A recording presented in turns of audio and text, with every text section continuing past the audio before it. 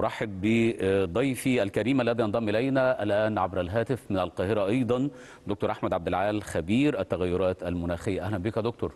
أهلا بحضراتكم والساده المشاهدين. إحنا طبعا لطالما سعدنا بحضرتك وشرفنا بيك في كثير من النقاشات المرتبطة بملف المناخ والتغيرات المناخية لكن أبدأ معك بقراءتك للمنتدى أو المؤتمر هذا العام إلى مدى تراه من حيث الأهمية أو الاختلاف عن سابقيه من مؤتمرات كوب. والله حضراتكم أنا يعني خليني مش مش قادر أقولها لكن أنا غير متفائل ب برضه بكوب 29 لأنه ما زال التوصيات اللي حدثت في الكوب المختلفة لم يتم تطبيقها ولو حتى بنسب مختلفة. النسب اللي تم التطبيق فيها نسب ضئيلة جدا لا ترقى ل درجة الخوف الخوف على كوكبنا وممكن ما يحدث من غازات الاحتباس الحراري وتأثيرها الشديد على نمط الحياة في العالم. أنا شايف أنه العالم بيدخل بيتكلم ويتم اتفاق ولكن التنفيذ ضئيل جدا جدا في أكتر من قب طيب فيما يرتبط بمشكلة المشكلات يا دكتور أحمد وهي مشكلة التمويل تكاد تكون مشكلة حاضرة في كل مؤتمر وأيضا في معظم الحلقات النقاشية وحتى في كلمات المتحدثين في المؤتمرات المتلاحقة. برأيك حجم هذه المشكلة وكيفية التعامل معها؟ شوف حضرتك هو منذ الكوب اللي كان في باريس في 2015 وكان تم الاتفاق على 100 مليار دولار لم يتم التطبيق منها أكثر من 2 أو 3% الكوب دون طالبين تريليون واحد وواحد من عشر تريليون دولار عشان يجابه التغير المناخي والدول المتأثرة والتكيف مع هذا التغير المناخي. فيعني إذا كان أصلا المبلغ الضئيل اللي هو 100 مليار دولار لم يتم التنفيذ إلا أكثر من 2 3% منه. فما بالك لما تكون محتاج إلى تريليون. هل هيتم التنفيذ؟ أعتقد إنه شيء فيه من الصعوبة لأن الدول الكبرى المتسببة في التغير المناخي لا لا يهمها التغير المناخي ولا يهمها الدول المتأثرة بالتغير المناخي يهمها التقدم التكنولوجي باي بسرعته الغير عادية.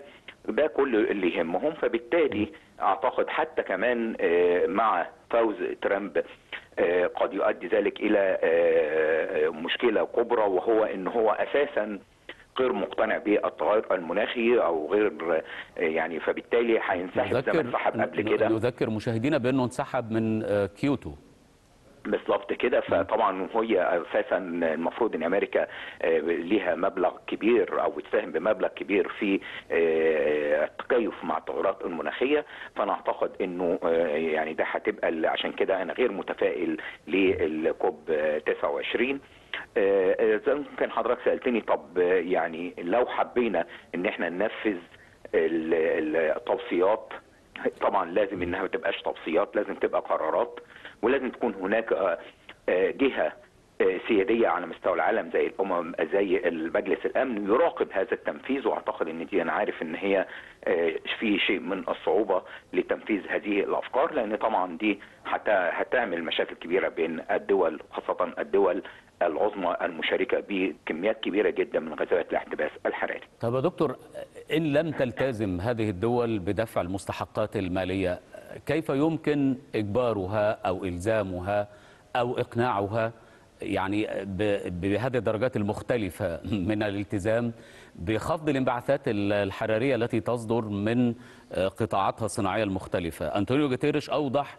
أنه إذا أردنا أن نبقي يعني احترار الأرض بمقدار درجة ونصف الدرجة فينبغي أن نخفض الانبعاثات بنسبة 9%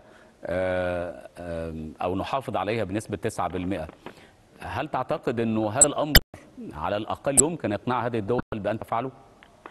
زي ما قلت لحضراتكم الدول العظمى المشاركة بالكمية الأكبر من غازات الاحتباس الحراري على مستوى العالم هي أساسا كل ما يهمها هو ملاحقة التطور التكنولوجي حتى لو كان على حساب هذه الدول وحساب شعوبها. وزي ما إحنا شايفين ما فيش دولة في العالم ما تأثرتش بالتغيرات المناخية.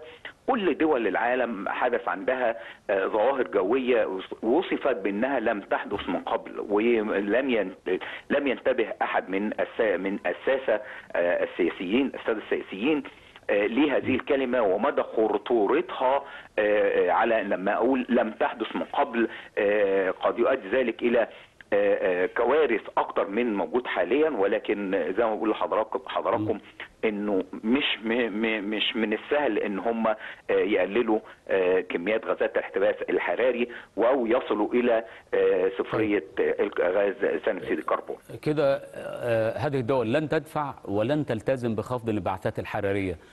يبقى السؤال الأهم الآن ما هي الخيارات المتاحة أمام الدول النامية إذا أرادت يعني أن توجد بعض البدائل للحفاظ على مناخها أو الحفاظ على مقدراتها. للأسف هذه الدول خاصه الدول النامية لا تستطيع أنها لا تتكا... لا مجابهه التغير المناخي ولا التكيف حتى معها لعدم وجود السيولة اللي تمكنها من حتى من التكيف مش هقول حتى المجابهه التكيف مع هذا التغير المناخي. فيجب على الدول العظمى إن هي تساعد هذه الدول يعني حتى بإنها تستطيع إنها تتكيف مش هنقول إنها تجابه حتى تستطيع إنها تتكيف مع هذا التغير كما هو واضح من حديث حضرتك وحديث الكثير من الخبراء إنه هذه الدول الغنية تبحث فقط عن الأرباح. فهل مثلا من الممكن أن تشكل هذه الدول النامية فيما بينها تكتلا ما يضغط على هذه الدول بأي شكل من الأشكال سواء ضغوط سياسية أو اقتصادية؟